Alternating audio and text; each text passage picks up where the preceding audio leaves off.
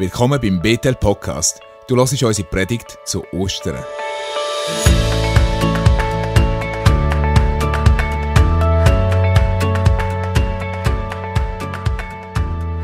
Herzlich willkommen zu unserem Ostergottesdienst. So schön können wir den Viertag zusammen feiern und es ist wirklich der grösste Viertag vom christlichen Glauben.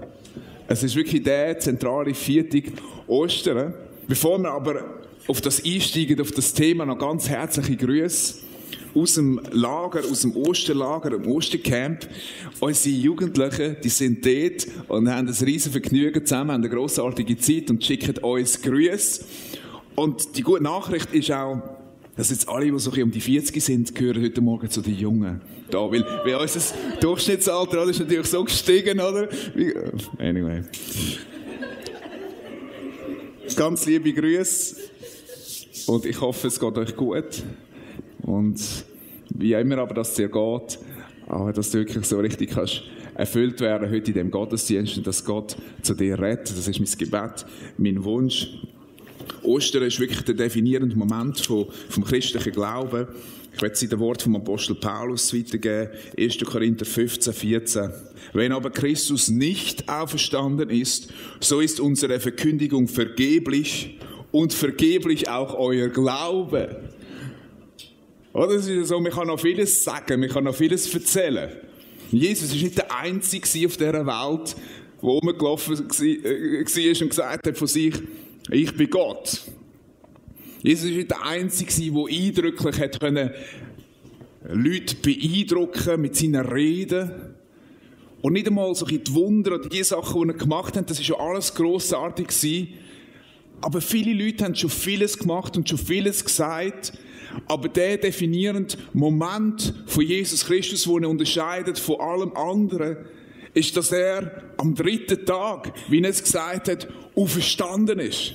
Und so ist ein bekannter Ostergruß, wo, wo Christen manchmal zueinander sagen, gerade an Ostern, sagen sie, Christus ist auferstanden und dann kann man antworten, er ist wahrhaftig auferstanden. Das ist der definierende Moment, das, wo Christus unterscheidet von allen anderen Nämlich, dass er am dritten Tag von den Toten auferstanden ist, wie er es gesagt hat. Und alle vier Evangelien, die schreiben von dem, von dem Wunder, von der Auferstehung. Und wir werden heute eine Passage lesen, und zwar aus dem Johannesevangelium. Und die Begegnung am Ostermorgen, wo die Maria Magdalena Jesus Christus begegnet ist. Und lass uns doch das gerade mal zusammen lesen. Johannes 20, 1 Früh am ersten Wochentag, als es noch dunkel war, ging Maria aus Magdala zum Grab. Sie sah, dass der Stein, der den Eingang zur Grabhöhle verschloss, weggenommen war. Da lief sie schnell zu Simon Petrus und dem anderen Jünger, den Jesus besonders lieb hatte. Ich finde das so großartig. Ja, Johannes schreibt über sich selber, er nennt sich nicht, oder? Er sagt, nein, nein, ich, ich schreibe das Evangelium und wenn ich über mich schreibe, nenne ich meinen Namen nicht, aber ich gebe einen Hinweis, es ist der Jünger, wo Jesus besonders lieb hat. Er hat kein Problem mit Selbstwerk gehabt, aber es stimmt ja, es ist Und sagte, sie haben den Herrn aus der Gruft weggenommen und wir wissen nicht, wo sie ihn hingebracht haben. Da ging Petrus hinaus und der andere Jünger folgte ihm. Sie wollten zum Grab und liefen miteinander los, als aber der andere Jünger war schneller als Petrus und kam zuerst an der Grabhöhle an.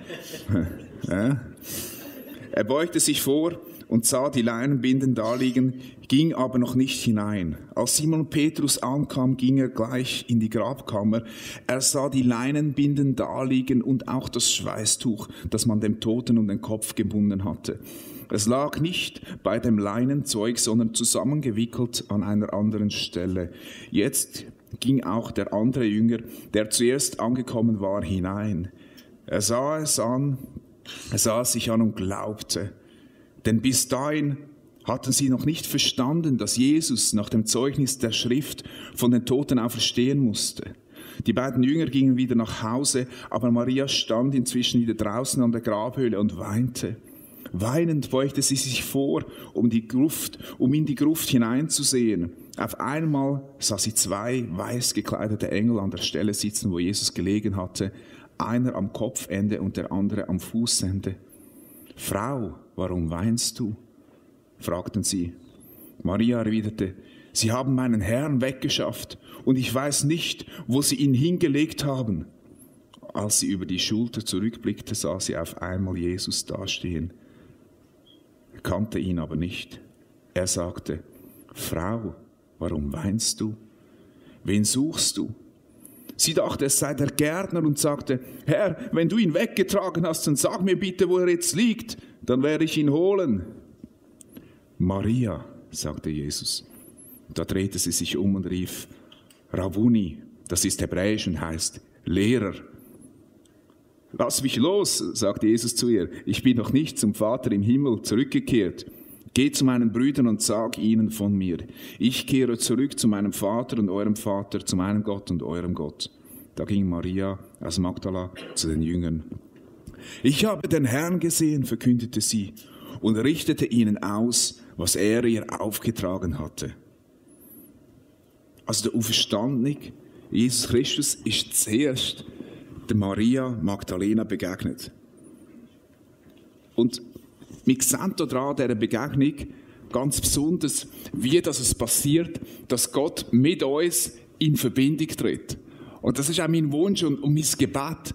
Falls es noch nie passiert ist, dass es für dich kann passieren dass Gott mit dir in Verbindung tritt, dass du ihm kannst begegnen und Vielleicht ist es auch schon ein paar Mal passiert, aber dann ist es mein Wunsch und mein Gebet, dass es noch tiefer kann passieren kann, dass Gott dir dort begegnet. Er läutet dir nicht an mit dem Telefon, aber auf eine ganz andere Art und Weise ähm, wirst du sehen, wie das möglich ist. Und wir werden sehen, dass an dem Beispiel von der Maria Magdalena am Ostermorgen, dass folgende drei Sachen hier eine Rolle spielen. Erstens, der Osterglaube, der Glaube an Auferstandene, Begegnung mit dem Auferstandenen, das ist erstens mal Wahrheit. Wir werden sehen, unser christlicher Glaube, der beruht auf Wahrheit. Der christliche Glaube beruht auf Gnade. Und drittens, der christliche Glaube beruht auch auf Liebe. Also erstens, christlicher Glaube beruht auf Wahrheit. Zweitens, christlicher Glaube beruht auf Gnade und auf Liebe. Schauen wir mal das Erste an. Christlicher Glaube gründet auf Wahrheit. Jesus hat immer und immer wieder gesagt, ich werde am dritten Tag auferstehen. Wenn wir in den Evangelien lesen, dann sehen wir das immer wieder. Zum Beispiel Lukas 9, 22. Denn der Menschensohn wird vieles erleiden müssen. Die Ratsältesten, die hohen Priester und die Gesetzeslehrer werden ihn verurteilen und töten. Aber am dritten Tag wird Gott ihn wieder zum Leben erwecken. Und jetzt ist also der dritte Tag. Und Jesus hat immer wieder gesagt, und, und Maria war dort auch dabei gewesen, wo Jesus damals gesagt hat. Und eigentlich würde man ja denken, wenn die das so viel mal gehört haben, wäre es dann nicht so, dass dann am dritten Tag wir zumindest so ein aus Neugier mal güchseln und denkt, jetzt ist der dritte Tag, wo Jesus schon tot ist. Und gerade bei der Maria, dass sie schauen und vielleicht irgendwo noch im Kinderkopf hat, ah ja, jetzt ist schon der dritte Tag. Jetzt ist schon der dritte Tag, ich kann mal schauen, was dort passiert ist. Aber nicht.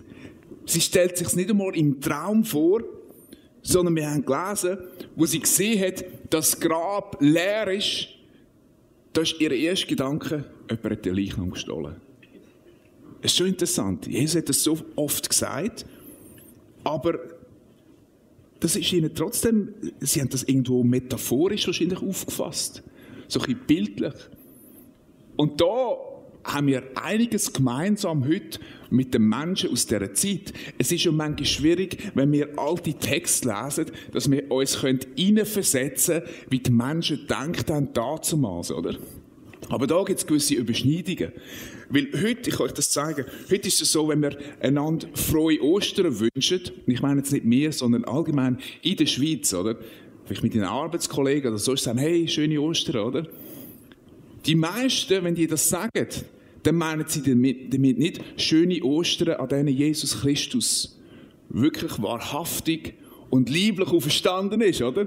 Sondern wenn sie würdest fragen, ja, wie meinst du jetzt das? Oder dann würde sagen, ja, nein, das ist natürlich metaphorisch gemeint. Jesus ist nicht wirklich lieblich auferstanden.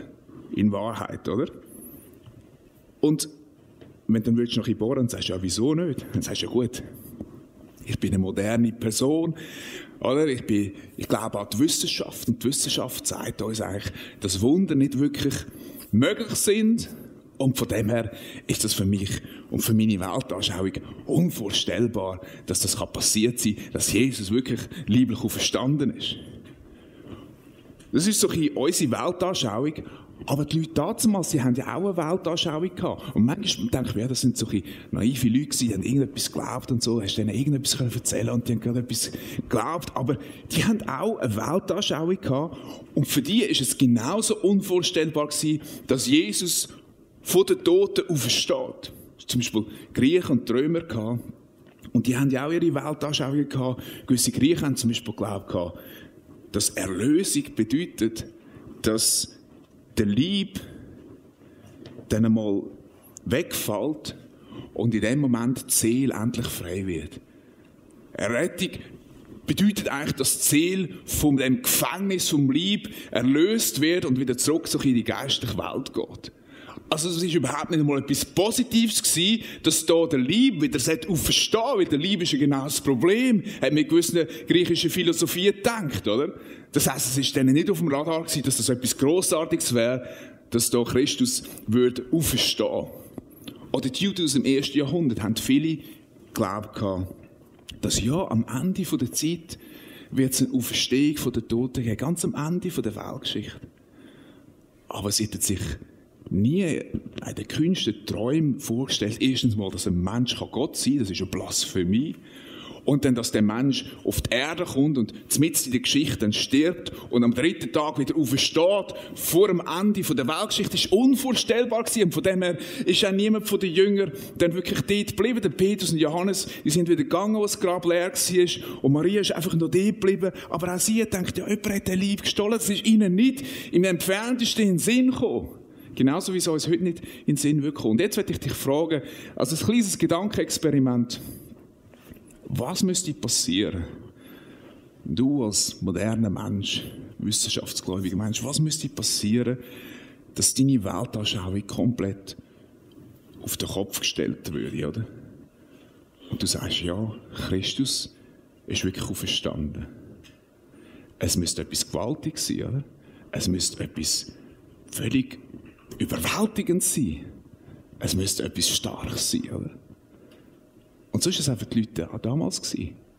Das war ihnen überhaupt nicht auf dem Radar und es hätte etwas völlig Überwältigendes müssen sein.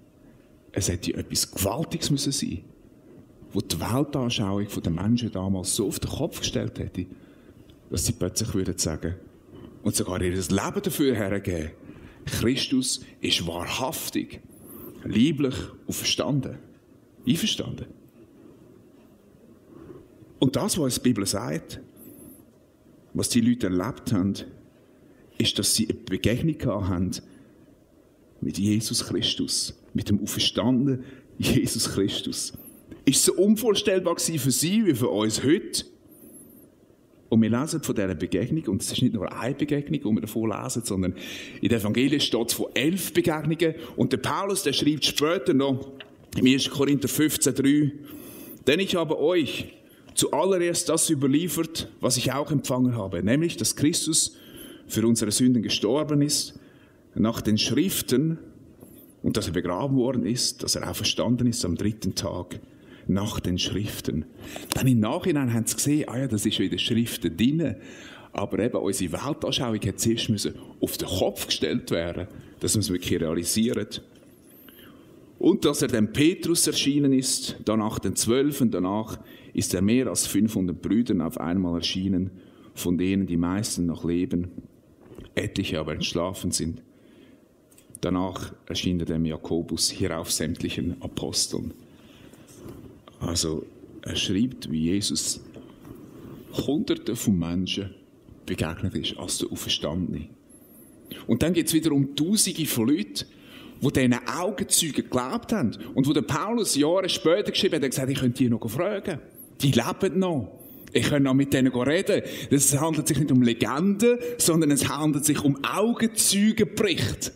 Und Augenzeugenbericht unterscheidet sich historisch von Legendenbericht. Die haben eine andere Qualität. Ich will euch gerade eine Qualität zeigen.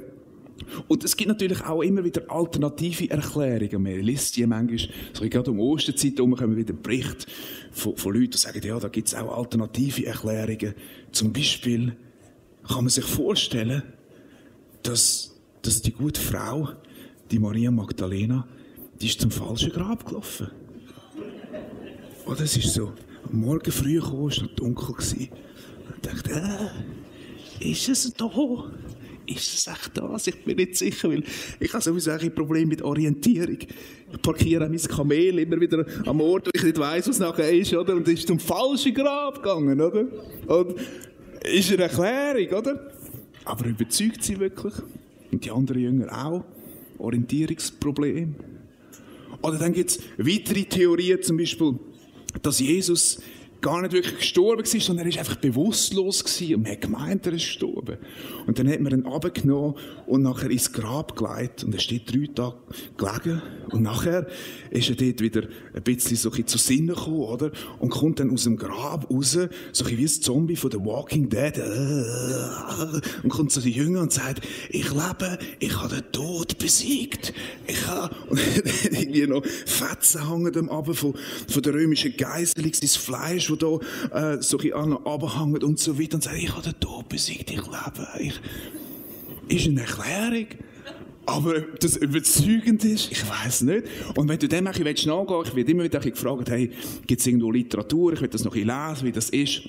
Ich kann euch ein paar Bücher empfehlen. Der Fall Jesus ist eins, das ist von einem Journalist geschrieben und es ist wirklich, ähm, ist, ist wirklich absolut spannend, das zum Lesen. Und, ähm, und zwar vom Lee Strobel. Und er tut so von historischen, von psychologischen, von allen möglichen Seiten als Journalist beleuchten. Und er ist, er ist durch das auch wirklich zum Glauben gekommen. Es ist interessant, in jedem Jahrhundert findest du Schriftsteller und die machen es sich zur Absicht, dass sie wollen beweisen dass Jesus nicht auferstanden ist. Und dann gehen sie und untersuchen das Ganze und sie werden gläubig. Das ist schon sehr interessant, ein Effekt. Das findest du in jedem Jahrhundert. Ein paar Bücher. Oder von einem Historiker, das ist so etwas vom Neuesten, äh, Dr. Gary Habermas, Evidence for the Historical Jesus. Und das vom Lee Strobel, ähm, The Case for Christ, oder auf es auf Deutsch, der Fall Jesus. Und es wird klar, dass Augenzeugenbericht, wo wirklich Menschen Jesus gesehen haben, ihn können anlangen, ihn können erleben, dass das einfach die überzeugendste Erklärung ist so verrückt das auch ist. Und wieso ist das überhaupt wichtig jetzt? Es ist wichtig, weil, wie wir am Anfang gelesen haben, wenn das mit der Auferstehung nicht stimmt, dann ist der Glaube vergeben. Es gibt heutzutage zwar immer wieder Leute, die kommen und sagen, ja, wie ist das schön, dass du glaubst. Wenn es dir hilft, wenn es gut ist, wenn es dir gut tut, dann ist es wahr für dich.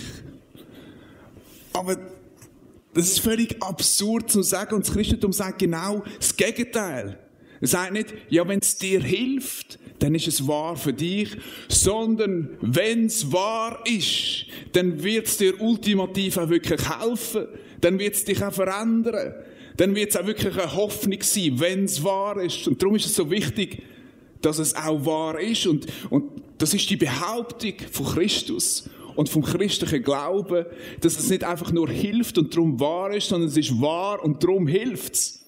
Und das ist ein wichtiger Unterschied.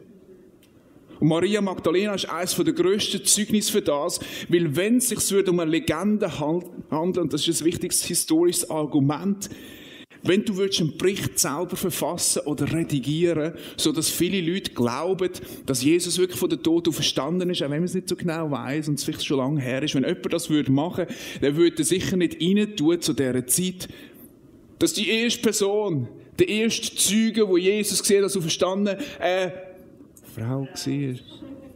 Sorry zum Sagen, aber damals sind Frauen einfach noch nicht so viel wert wie Männer.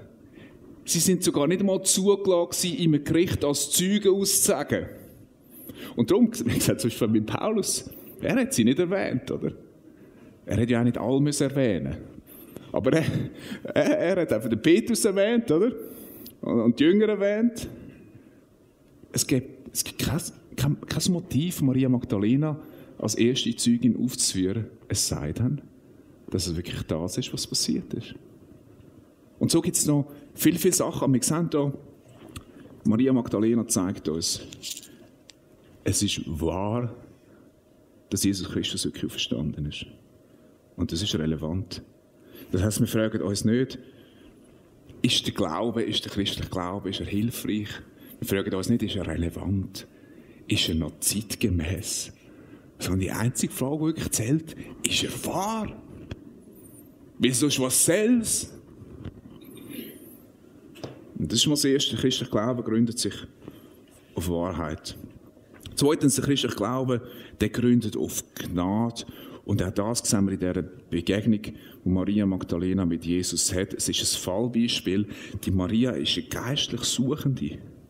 Du siehst mehr sogar als andere. Petrus und Johannes gehen wieder zurück und so, aber sie bleibt dort. Und sie weint.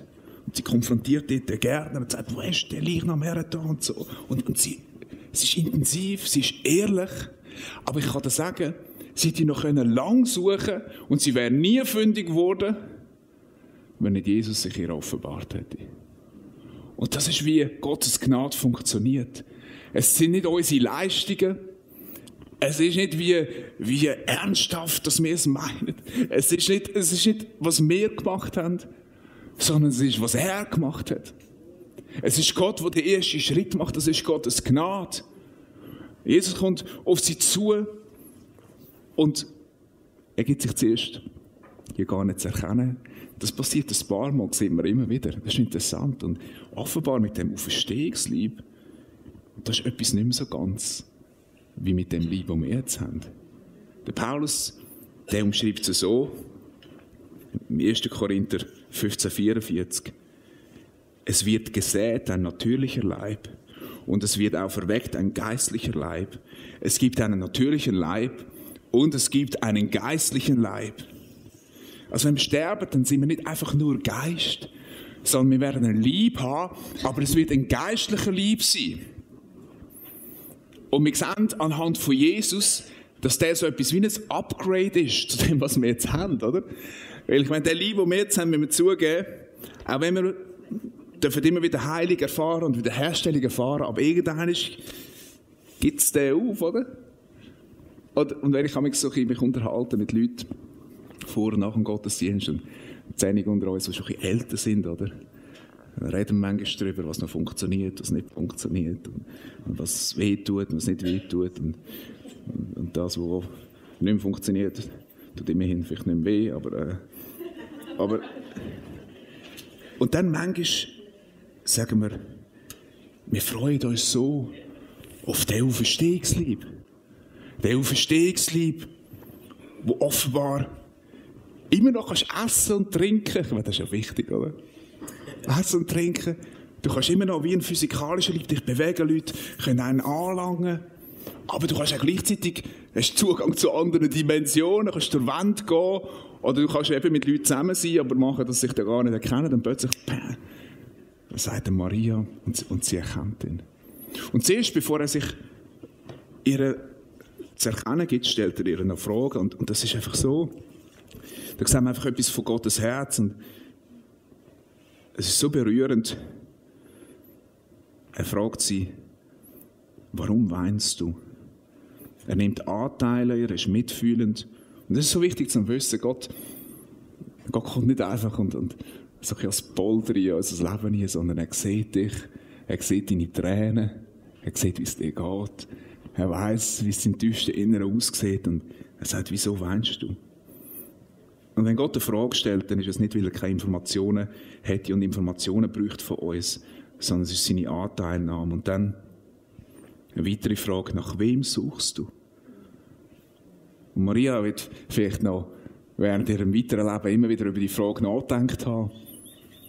Die Bedeutung, wer suchst du eigentlich? Du suchst mich nach jemandem, wo ich nicht mehr bin. Deine Vorstellung von mir, die ist viel zu klein, die ist zu begrenzt. Unsere Vorstellung von Gott, von Christus, die ist doch noch viel zu klein, viel zu begrenzt. Und er sagt, ich bin ganz anders, als du denkst. Ich bin viel größer, als du denkst. Und er fragt sie, wer suchst du? Sie ist auf der Suche. Und so viele Menschen heute sind auf der Suche. Aber sie suchen in sich oder sie suchen aus sich raus. Aber wenn wir nur in uns suchen, wie es uns immer wieder gesagt wird, ja, schau einfach in dich innen und so und dort findest du das und dieses und so und die Ressourcen zum Leben. Aber wenn du nur in dich schaust, findest du nur dich selber. Und wenn du aus dir raus nur einfach suchst, dann suchst du nur das, was schon bereits in deiner Vorstellung innen ist. Aber du brauchst etwas, was deine Vorstellung übersteigt. Und Jesus begegnet dir und sagt, wer suchst du? Ich bin nicht der, wo du denkst, jetzt liegt jetzt da, sondern ich bin größer, ich bin anders. Ich weiß nicht, für wer das ist heute Morgen, aber auch Jesus wird dir sagen, hey, ich, ich bin mehr, ich bin größer als das, was du denkst. Und dann kommt der Moment, wo er sagt, Maria, wo er ihren Namen ausspricht. Und sie sagt Lehrer. Und es ist eben nicht umgekehrt. Es ist nicht, dass sie sagt, oh Lehrer, und er sagt, hoi Maria, sondern es ist, er sagt Maria, ruft sie beim Namen, gibt sich zu erkennen. Und es ist so gewaltig, wie das Gottes Gnade zeigt. Wir können suchen und machen, aber wenn Gott nicht in unser Leben eintritt, wenn er sich nicht bemerkbar macht, wenn er dich nicht beim Namen ruft, dann kannst du eine Ewigkeit suchen und du wirst ihn nicht finden. Aber es ist Gottes Gnade. Und, und es ist wirklich auch so bezeichnet, dass Gott Maria als erste Missionarin auswählt. Oder er gibt ihr ja den Auftrag dann. Der Petrus war der, Johannes war der. Aber hat sie wieder gehen und gewartet, bis Maria einfach dort ist. Und der Maria hat sich gezeigt. Wieso? Wenn wir lesen, wer Maria ist, Maria Magdalena. Lukas Evangelium jetzt beschrieben.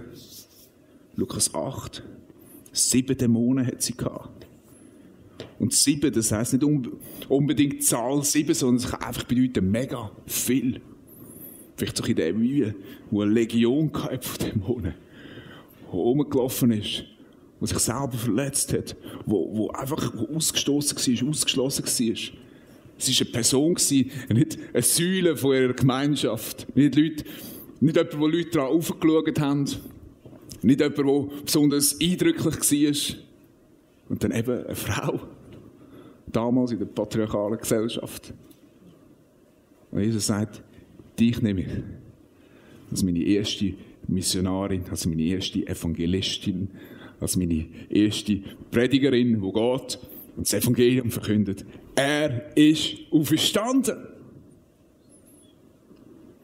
Aber wie viel Hoffnung gibt es uns, oder?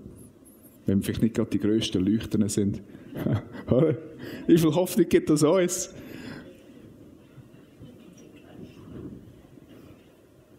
Aber es stoppt eben nicht dort. Und das finde ich eben auch wieder schön. Jesus kommt selbst für die Selbstgerechten, oder? Er sagt ihnen nicht, also gut, jetzt behalte für dich, sondern gang jetzt. Und ich finde das so schön, wie er dann sagt, gang.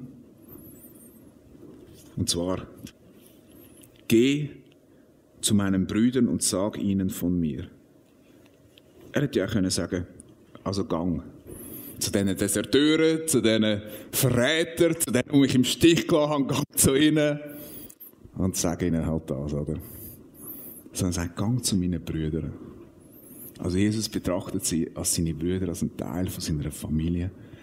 Selbst die, die in Selbstgerechtigkeit haben, Jesus, wir folgen dir bis in den Tod. Oder wo Jesus gekommen ist und gesagt hat, hey, und die Jünger berufen hat und gesagt, hey, es ist euch möglich, ein Kind Gottes zu werden. Dann haben sich vielleicht einige gedacht, ja, ja, das könnte sein. Aber Maria hat das sicher nicht von sich gedacht, oder? Sie gedacht, was, ich? Und Jesus ist zuerst zu ihr gekommen, aber nachher auch noch zu den anderen.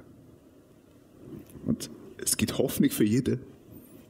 Selbst für die, die zu viel von sich denken. Und er schickt sie und sagt, gang zu meinen Brüdern. Also ich meine, jeder schaut ja auf andere irgendwo ab. Die Konservativen denken ja, wir sind moralisch höher stehend als da die zügellosen Liberalen. Die Liberalen denken, wir sind so aufgeschlossen. Und da die verknöcherten Konservativen und so. Jeder schaut auf irgendjemanden ab, oder? Und, und Jesus schickt Maria und sagt, alle sind gemeint.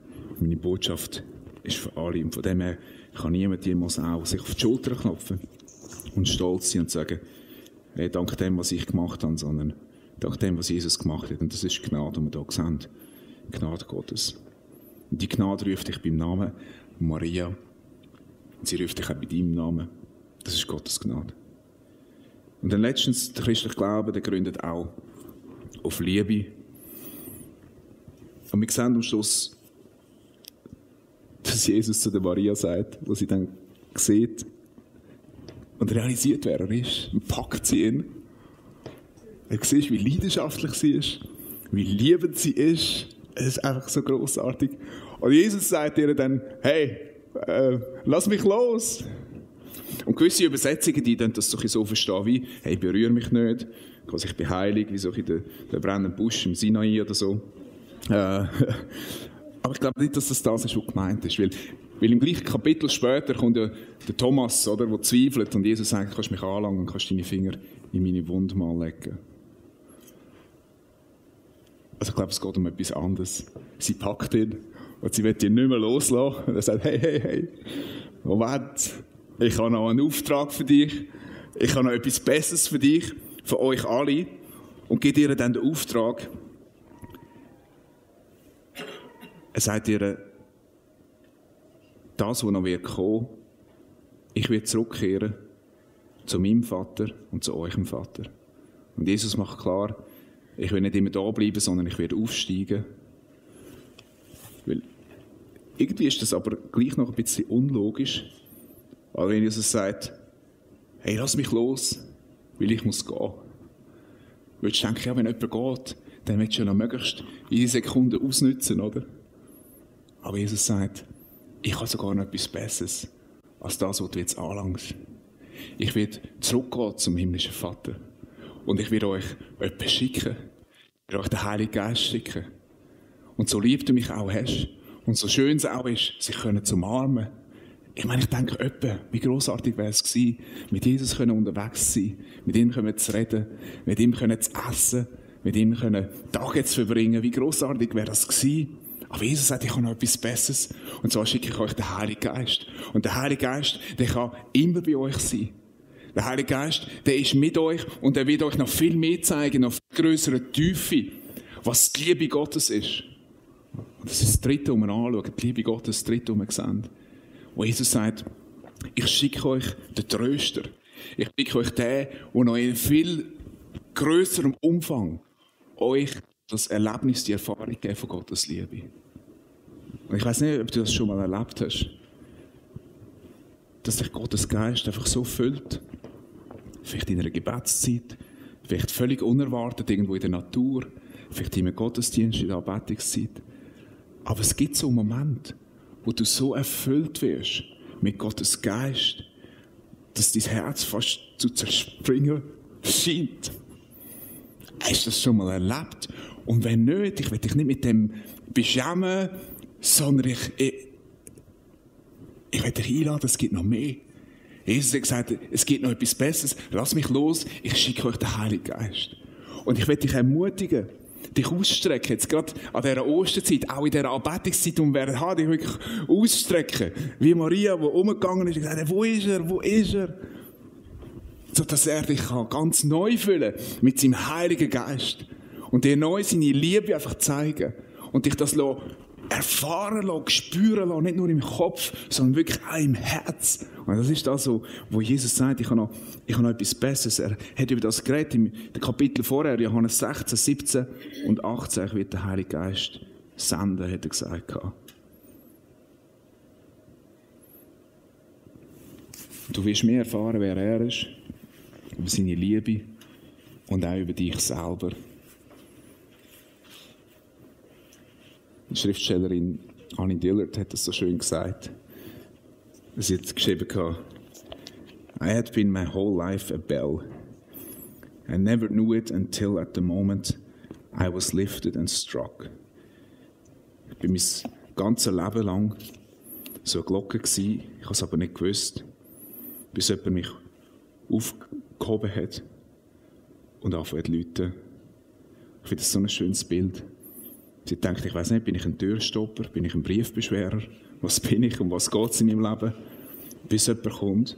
Und das ist der Moment von der Maria. Und es kann auch der Moment sein für dich, wenn Jesus Christus durch seinen Geist in dein Leben hineinkommt und dich beim Namen ruft und einfach zeigt, um was es geht, wer du bist, wie Gottes Liebe ist. Und ähm, so wenn wir auch in die Anbetungszeit jetzt reingehen. Maria hat einen Moment vorher noch gedacht, es ist alles eine Katastrophe. Es ist alles am Ende. Es gibt keine Hoffnung mehr. Das Grab ist leer. Und nicht einmal das klappt, dass sie noch Jesus die letzte Ehre erweisen. Und hat nicht realisiert, dass er gerade hinter ihr steht.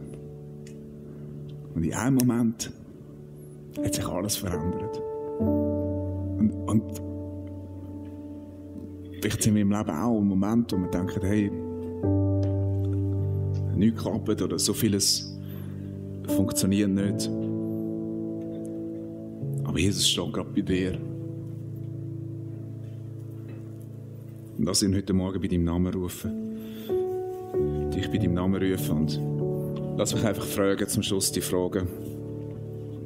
Glaubst du wirklich, dass die Auferstehung real ist? Nicht einfach nur metaphorisch?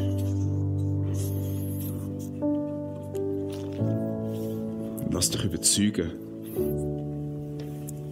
von dem, was Hunderte und dann Tausende und dann Milliarden von Menschen überzeugt hat. Und realisierst, dass Gottes Gnade für dich ist. Nimm das einfach heute in Empfang.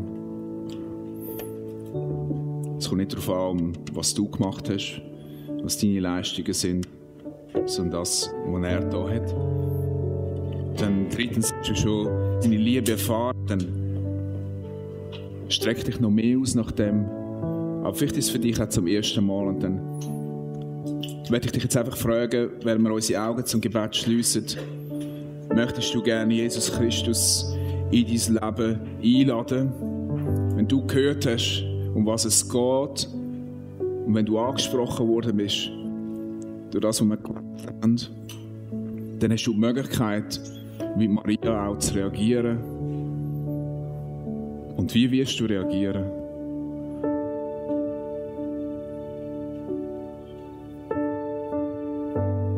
Wenn du bereit bist, auf das einzugehen, dann kannst du einfach das durch das Gebet bekunden, dort wo du sitzt. Und du dir gerne auch ein paar Worte vorsprechen oder das kannst formulieren und wenn du das willst tun, dann wäre niemand umschaut, du einfach als Zeichen kurz deine Hand haben und sagen, ja, ich möchte, ich möchte gerne Jesus Christus in mein Leben aufnehmen, ich möchte gerne mich rufen lassen von ihm. Heb kurz deine Hand auf als Zeichen, danke. Und dann kannst du jetzt auch das beten und sagen, Jesus, ich danke dir vielmals für deine Gnade. Ich realisiere, es ist wahr du bist wahrhaftig auferstanden.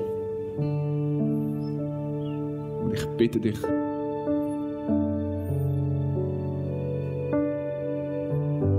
dass du in mein Leben hineintrittst.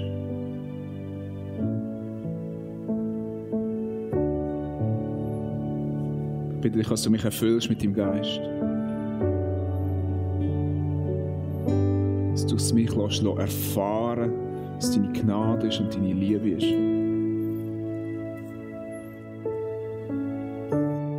Und ich werde alles aus dem Weg schaffen, was uns trennt. Danke, dass du gestorben bist am Kreuz für mich und so alle meine Sünden vergeben worden sind und ich nehme das in Anspruch und ich bitte dich einfach um Vergebung im Namen Jesus. Wasch mich rein. Danke, dass du mich aufgenommen hast in deine Familie.